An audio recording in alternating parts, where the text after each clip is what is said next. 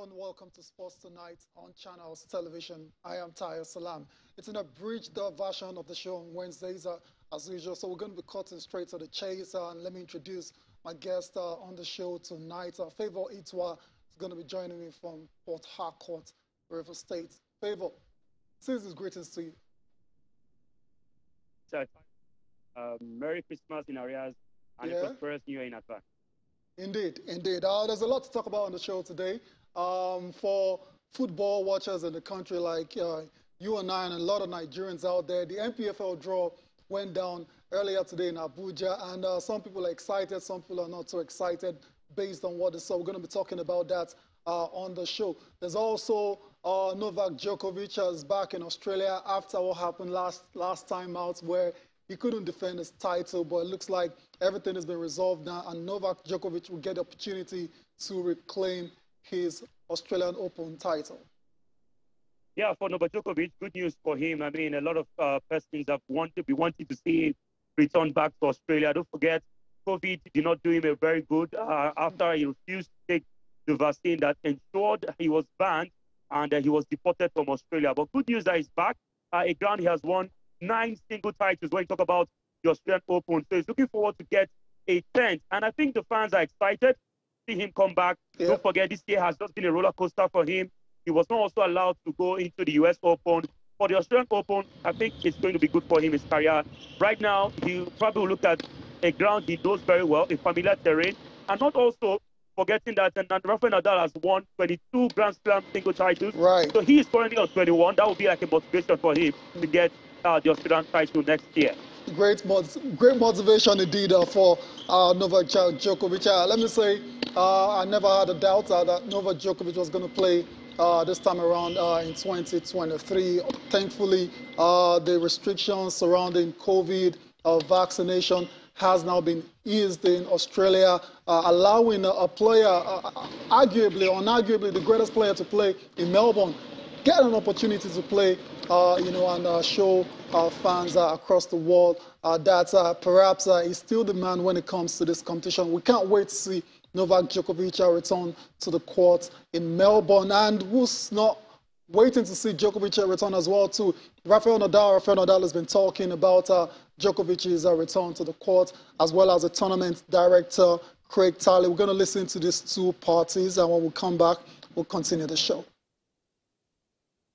Is here good for for tennis, good for uh, probably for the fans, uh, and let's say you know I, mean best players uh, on court always better. I have a great deal of confidence in the Australian public. I think uh, we have we're very well educated sporting public, uh, particularly those that come to the tennis. They love their tennis. They love seeing great uh, greatness. They love seeing great athleticism, great matches, and I have a lot of confidence that the fans uh, will react like we hope they would react and uh, and have respect for that. I think that he is going to be uh, again the player to beat. He finished 2022 as playing the best tennis. Um, he does want to get to equaling uh, the current record uh, held by by Rafa, um, and uh, he does want to get to a point where you know, he, he has a goal to be the greatest of all time. There you go. Um, Novak Djokovic obviously uh, wants to be the greatest of all time when it comes to tennis. We've already seen a GOAT retire already in Roger Federer. We've got two more contenders. I think uh, there's no arguments about it. It's either going to be between Rafael Nadal and Novak Djokovic. Itwa, do you have a feeling that it's going to be a triumphant return for Djokovic in Australia?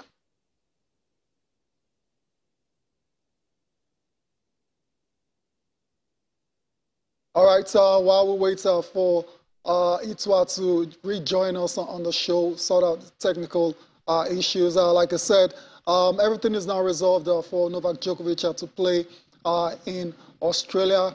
We know it's all about the chase for the most singles Grand Slam titles when it comes to men's tennis. Rafael Nadal is on 22, Novak Djokovic is on 21, and of course, Roger Federer has retired on 20. So it's going to be between these two guys. I, I was asking you earlier that do you have a feeling, do you sense that it's going to be a triumphant return for Djokovic in Melbourne in January? I, I, I think it's going to be. I mean, when you look at um, how he has played tennis this year, don't forget, after he didn't go to the US Open, we saw what he did at the ATP finals. You know, was able to clinch that. He showed that, even as much as he has not had the very best of competitions, but he still looks sharp uh, in his tennis, and we see that he can actually take on, you know, the very best to become the best. One thing I like about uh, Andy Murray is the fact that he challenges himself. He sees his rivals as an opportunity to go all out to get the best out of himself. So the Australian Open, he want to prove a point, especially for the fans uh, who did not see him play last early this year, and yeah. of course they shot the title go to another tennis player. So I think he's going to give a give Rafael Nadal a run for his money, and also challenge himself to be tied on 22 Grand Slam single titles. Of course, we know upset are part of the game, but of course, I think that Andy Murray would give his best shot come January 2023. All right, Novak Djokovic, I wish all the players all the best. Uh, the first uh, Grand Slam of the year is going to start on January the 16th in Melbourne. We can't wait for that to come around. Let's leave uh, tennis now and let's talk about table tennis uh, right here in Nigeria, where top seeds uh, have advanced to the next stage of the 54th edition of the Molade Okoya Thomas Table Tennis Championships at the Teslim Balogun Stadium in Surulere, Lagos. Defending champion Rilwan Akanbi was representing the NSCDC finished top of the Group 1 after victories over Kehinde Hamzat and Lukman Ibrahim of Arena Sports Club. Emmanuel Augustine of Angen Andrology Club also progressed to the next round following wins over Onyekon as of Lagos State University as well as Fawaz Balogun. African Youth Champion Matthew Kuti, Lakunle Ajulo, Muiz Adegoke and Taiwo Shinuga also advanced to the next round. The championship, formerly known as the Ashojoba Cup, is the longest sports tournament in Africa and is endorsed by the Lagos State Sports Commission. Let's get reactions that are coming from the players that are featuring at this event. This time I um, I want to be the winner because last year was not a good um, record for me because I lost in the semi-final. Year before I lost in the final, but so this year I'm hoping to, to, to win the tournament. Most of the players are not collecting money, like uh, maybe um, like salary in any in any way, and it's not easy. Like um, our table tennis equipment is so very um, expensive, so it's not. So if they if they can like they can put in place like uh, maybe every month um, players will be collecting such amount, all those things. Uh, I think that will make us play week in, week, uh, week out. The experience has been wonderful. The first time I actually came, I was not as good as I am now. And um, it actually gave me an insight to who I'm up against if I want to go far in the table tennis industry.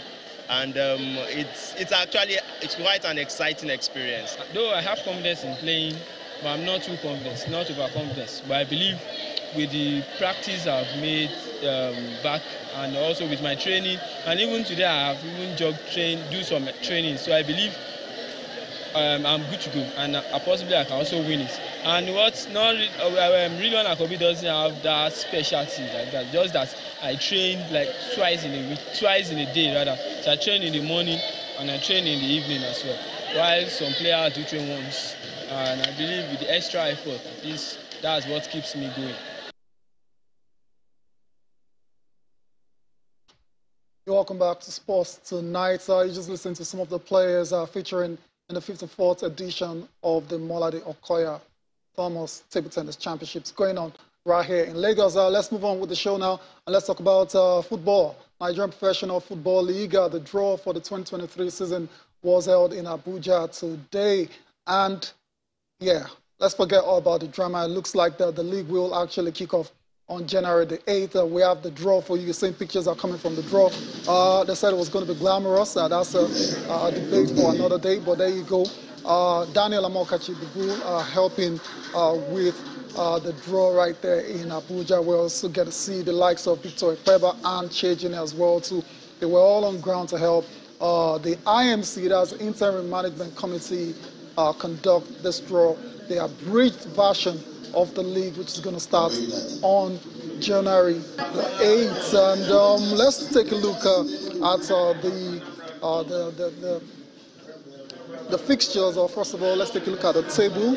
Uh, like I said, it's an abridged uh, version uh, of the league. And in Group A, we have Kwara United, Nasarawa United, Plateau United. There's also Gombe United, El Kanemi Warriors, Enyimba International, Akwa United, Bendel Insurance, Shooting Stars, and Remo Stars. So Those are the teams in Group A for the 2023 Nigeria Professional Football League. Let's go to Group B now. We have Niger Tornadoes, Doma United, promoted side, Wikki Lobi Stars, Rivers United is also, that's the defending champions. They're there as well too. Abia Warriors, Dakkada FC Rangers International, Sunshine Stars, Bayelsa United. So those are the teams that uh, make up Group B for the NPFL 2023 abridged version. It's why still with me, Favor. Uh, Favor, yeah, the drama, you know, that preceded all of this, the draw actually has gone on, and uh, it looks like a league is going to be starting in January. Yes, uh, I mean, we, we're excited. I mean, we've waited for like uh, four or five months for this to happen, in as much as we've had dramas, you know, coming to this particular stage yep. from the IMC, from the club owners. But let's forget about that right now. Mm. Let's talk about what has happened. I think it's right time for the club owners to see if they can actually just set their swords, you know, participate in this one. Because at the end of the day, we are looking at what is available, you know, as the timing in terms of, right. you know, the number of matches to be played within the uh, space of six months, you know, or um, in 2023. And also, would also want to have these players look more fitter or better in terms of their health than having to, to play more games right. in 2023. Draws, well, this is not the first time we had this. We had it in 2018, where, of course, we saw Akwa United top their own table. We got to Lagos. We saw Enyimba won the league at that particular season. Lots of also upset and shockers. By that time, we had El Kanemi Warriors relegated, and now they are back into the league. So I think the league should just start. We've had lots of dramas. It's high time we have these players start playing. They've been training for months. Yeah. And psychologically, when you look at the time constraint, the average time of minutes or the, the time you read you need to have play preseason should not be more than six weeks. Right. But we had four months of preseason for teams. Been playing forever. So expect them to just come out and play the best of football come next year. I, I totally agree with you. The drama we want to see is on the pitch, not off the pitch, and that's why I think uh, for a lot of fans, uh, they are kind of excited uh, that the league is going to be starting uh, very, very soon, early uh, next year. Let's give you more details uh, on the league. Okay, let's talk about the fixtures. I was going to quickly tell you that it's going to be a Super Six uh, later on after the conclusion of them group two groups. Uh, but let's give you the fixtures that are coming uh, for you on January 8th. Uh, Nasarawa United will take on Enyimba. There's also Akwa United versus Bendel Insurance, Plateau United versus Shooting Stars, Kwara United versus Gombe United, and Remo Stars versus El Kanemi Warriors. And let's move on uh, quickly to uh, other fixtures as well. Bayelsa United versus Dakkada FC. Wikki Tourists versus Niger Tornadoes. Doma United will take on Sunshine Stars. Rivers and Lobi Stars. So Rivers will be opening their title defense against Lobi Stars in Port Harcourt. I bet they're very, very motivated after uh, being rewarded uh, for their exploits last uh, season. Last but not the least, uh, the Flying Antelopes of, of Enugu, yeah, will take on Abia Warriors. So those are fixtures, uh, match day one for the 2023 Nigeria Professional Football League. Can't wait for football uh, to start again. I was going to say there's going to be a Super Six uh, after the conclusion of these two groups, where the top three from each group will be will play uh, to determine the eventual champion of the season. Also, the champions will earn 100 million naira. That's the prize money for the winner of this abridged version of the league. Uh, let's get more on that now from the chairman of the IMC, Agbenga Elegbeleye, speaking on what's in it for the players and the clubs. We have secured reputable sponsors for the league, and IMC is increasing the prize money of the winner of the league from 50 million naira being the current prize money. And meanwhile, the, the, the team that won the last league has not been paid anyway. So, yes. So, so we're now increasing it from the 50 million. Eh? Even the one before the, this last winner was not even paid. So, what we are doing, we're increasing it from the 50 million to 100 million naira. That is 100% increments. The winner of this season will get 100 million naira, not a year after, not a month after, not a week after, the very day the league completed. Please mark it and my word. Thank you. As Benga Elegbeleye uh, talking and telling and assuring the players and and the clubs are that uh, if you end up winning this edition, this is a breed version of the league, uh, you're going to go home 100 million naira. Let me come back to Favor. Favor, uh, the IMC chairman sounds very confident, and even a couple of shots at, at, the LMC, you know, for not uh, paying up and stuff. Uh, but I mean, uh, if they actually, I mean, 100 million naira is not a lot in the grand scheme of things. If you look at, uh, you know, what it takes to actually prosecute a Nigerian professional football league matches, but you have to say it's still a start. Well, for the IMC chairman, Mr. Elegbeleye, has made a promise. for me, with what I've seen so far in Nigerian Professional Football League, I'm not fit to you know, be excited when I hear things like this, except, you know, until the day the promise is to be made, uh, to be, to be made. We see promises in the past, you know, by the, the LMC and other different bodies on monies to be paid to the champions of the league. And after that, what has happened? Now he's taking a swipe on LMC. I hope he understands that he this time around is a different body, yep. as much as yes, it's an interim committee. So he should put his words to action and ensure that whatever he has said today will be done at the end of the day. But nevertheless, it's a good one uh, from what we used to have. Let's hope that what he has said today will uh, come into reality. But so far, so good, I must say that he, uh, the, within a short time, they've had to you know, bring this committee together. Right. They've tried their best. Uh, they've tried their best to ensure the league starts. So we only can wait see the more improvement. And also the sponsors. We don't know the sponsors yet. We don't. But we hope to see sponsors come out and say, okay, yes, we are part and parcel of the league. Yeah. I mean, there should be some transparency in that angle. All right, so fantastic. Uh, we want to thank you for your insights, analysis, our favor. Got to let you go now. Thank you. All right, thank you very much, Tayo. All right, cheers. All right, let's before we close the show, we're running out of time. Let's give you a slice uh, from the NBA where history was made uh, earlier uh, this morning when Luka Doncic uh, became the first player to score or record a 60 points, 20 rebound triple double. Luka Doncic, the Dallas Mavericks star, incredible uh, performance against uh, the New York Knicks uh, right there. 60 points, 21 rebounds, and 10 assists. He's the only player to do this in NBA history. See some great players. Uh, he's in the company of great players like uh, Wilt Chamberlain as well as Elgin Baylor as well. Too. But uh, it's all about Luka Doncic. Uh, uh incredible performance against uh, the New York Knicks early this morning. Let's take his post-game reaction. Not good. I didn't know what to do. No, I don't think so. You know, I, I know it was two seconds or something. I just threw it up. Hopefully, it went in. We saw it on the on the on the screen right now. We're watching NBA TV.